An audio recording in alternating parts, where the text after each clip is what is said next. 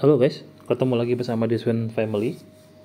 Oke, ini mungkin ini bisa dibilang kayak kelanjutan dari tips gue yang sebelumnya guys. Kalau teman-teman belum tahu cara split screen di Xiaomi Pad 5, bisa dicek tipsnya di kanan atas ya guys. Oke, kita lanjut aja ke tipsnya. Jadi kita bisa coba yang lebih keren lagi nih guys. Kita mau coba menggunakan tiga aplikasi secara bersamaan. Uh, ini gue nemuin juga iseng-iseng sih guys, banyak eksplorasi, banyak nemuin akhirnya. Oke, yang pertama, misal nih guys ya, misal coba kita tutup dulu semua. Ini kita exit dulu semua. Oke, tadi contoh yang dual screen, kita tutup. Oke, di posisi ini misalnya kita mau coba mau dengerin lagu, terus misalnya sambil baca berita, sambil put some notes atau lagi ketik-ketik ada kebutuhan kerja atau apa.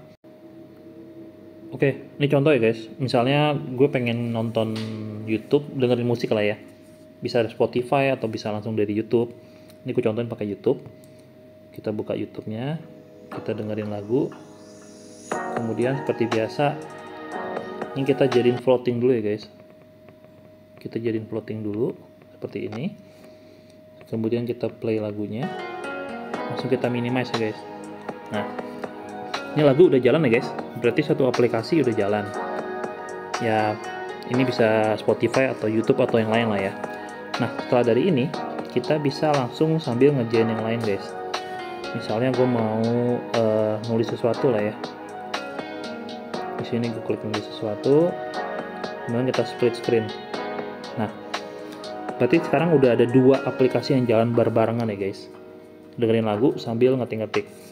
Terus misalnya gue pengen sambil kerja sambil lihat-lihat berita ya gue buka detik.com lah ya. Buka channel news buka detik.com nah buka ya guys. Berarti sekarang nih ada tiga aplikasi yang jalan berbarengan. Ini uh, keren banget sih. Sebenarnya gue yakin banget kalau udah ada uh, desktop mode di Xiaomi atau PC mode di Xiaomi ini pasti udah bisa sih multitasking seperti ini ya guys ya ini sementara lah ya tipsnya. Jadi ya serunya gini kita bisa sambil baca-baca berita terus kemudian kita bisa sambil di kiri sambil kerja. Pokoknya eh, ini terserah teman-teman sih mau ngapain mau buka tiga aplikasi seperti apa. Ini cuma contoh aja. Silakan teman-teman ber eh, apa ya nemuin tipsnya sendiri mau ngapain dengan tiga aplikasi Ya, Oke, mungkin cukup sekian aja ya guys. Kalau masih bingung silahkan komen di chat, kita obrolin bareng. Oke, thank you banget, senang banget teman-teman udah nonton video uh, gue. Sampai ketemu lagi, bye guys.